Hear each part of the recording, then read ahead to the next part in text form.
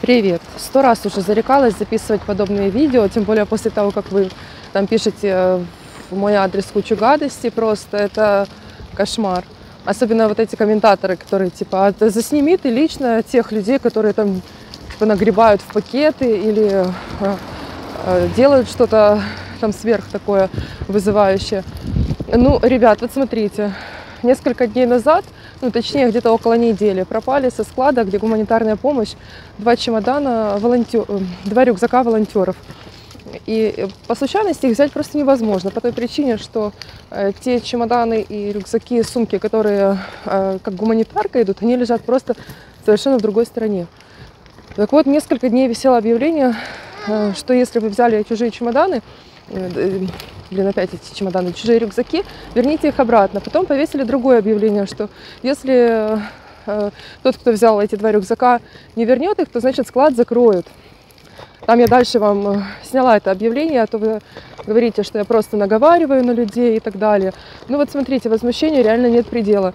А прачечную, которую я раньше показывала в своих роликах, там сыпучий порошок был по 5 килограмм, нам выдавали, стирай сколько хочешь, э, как бы использую, и э, заканчивается, снова новые выдают. 5 э, килограмм порошка.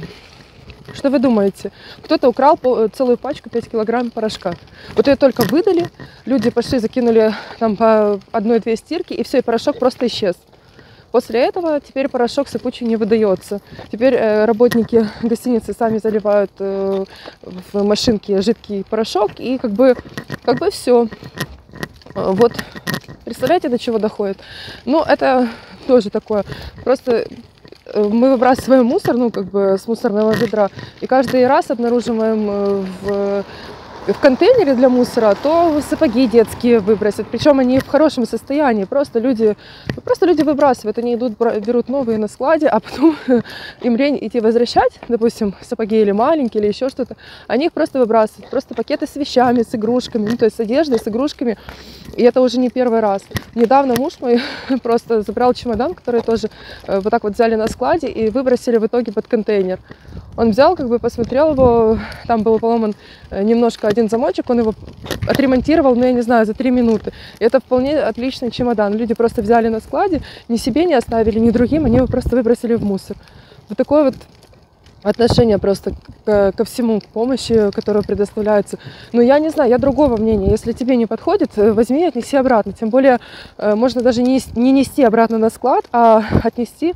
Э, здесь у нас же, там, где мы живем в гостинице, есть такое э, помещение, где это все тоже есть материальная, ну, не материальная, больше, гуманитарная помощь, и там это можно оставить. Люди просто берут и выбрасывают в мусорные контейнеры, в альфаторы игрушки детские, просто пакетами выбрасывают пакетами детские игрушки, одежду. Ну, что вы думаете по этому поводу? Вот дальше я вам оставлю эм, объявление с пропавшими рюкзаками. Как вы считаете? Вру я? Вот это объявление висит в столовой в нашей.